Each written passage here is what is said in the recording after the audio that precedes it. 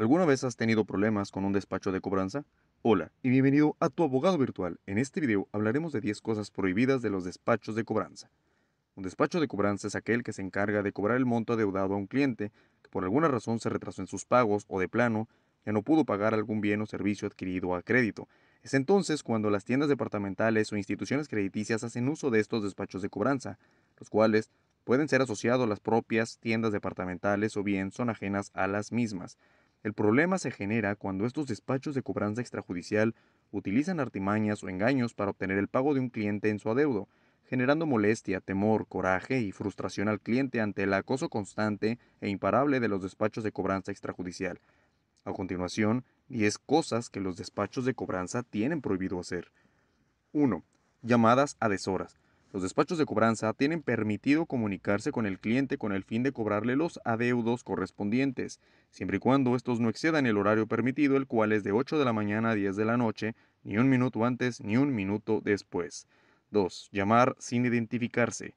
Una práctica muy común entre los despachos de cobranza extrajudicial es llamar a los clientes sin identificarse como empleados de tal o cual institución financiera u oficina. Asimismo, utilizan números irreconocibles los cuales confunden al cliente obligándolo a responder la llamada aun cuando no fuera ese su deseo.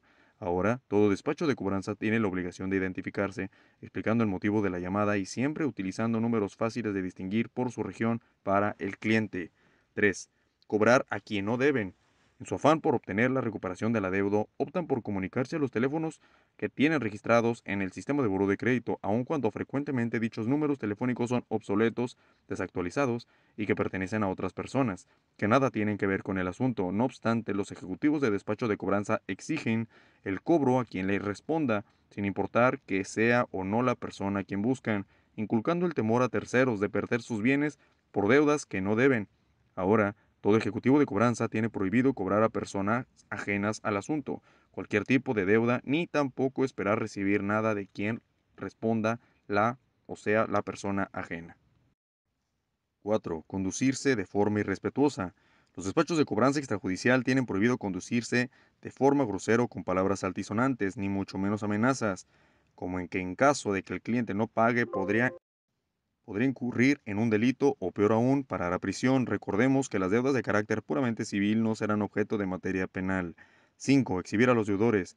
Además, está prohibido exhibir al cliente de cualquier forma o modo, es decir, con documentos que simulen escritos judiciales, folletos, pancartas, altavoces, videos o cualquier otro medio de difusión visual. 6. Falsear información. Está estrictamente prohibido que los despachos de cobranza extrajudicial falseen o asimilen información, haciendo creer al cliente que es parte de alguna institución pública gubernamental. Esto sí podrá ser considerado como ilegal ya que aparentar que una persona es funcionario público es considerado un delito. 7. Registro de despacho de cobranzas. Ahora todo despacho de cobranza deberá estar debidamente certificado por la Conducef, debiendo señalar nombre, domicilio, RFC, teléfonos, etc. 8. Todo por escrito.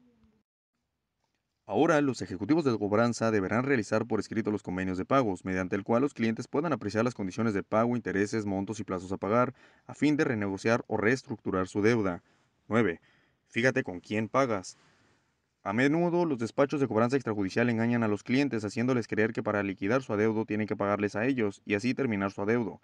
Lo cierto es que en un adeudo no es al despacho de cobranza a quien tienes que liquidarle, sino a la institución crediticia a la que se le debe. Es por eso en una carta de finiquito, esta debe mencionar que se liquide la deuda a nombre de la institución crediticia y no a nombre del despacho de cobranza extrajudicial.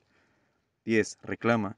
Si tienes problemas con algún despacho de cobranza extrajudicial, es tu derecho reportarlo a la Conducef o a la institución quien a su nombre cobran, quienes están obligados a responder tu petición en un plazo no mayor a 20 días.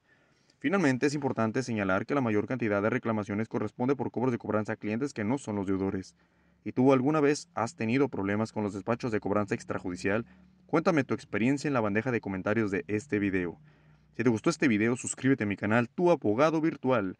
Dale me gusta y compártelo. Saludos cordiales.